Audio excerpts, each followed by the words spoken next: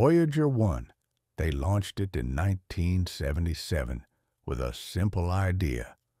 Let's explore Jupiter and Saturn. And guess what? Voyager 1 said, Cool, but I'll just leave the solar system while I'm at it. That's right. After nearly 48 years, Voyager 1 is over 24 billion kilometers away, officially the most introverted object humanity has ever built. It's literally ghosted the entire solar system.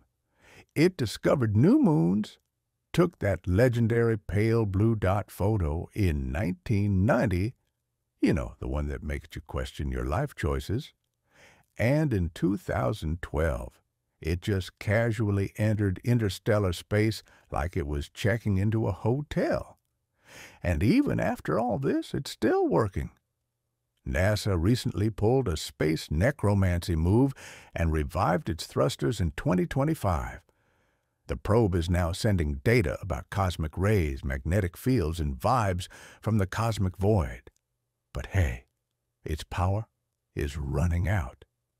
The nuclear battery drops about 4 watts every year, which means by the 2030s, it'll probably go silent.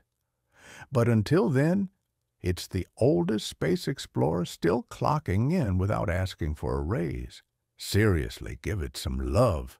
Like this video, comment Voyager MVP and subscribe for more epic space stories like this.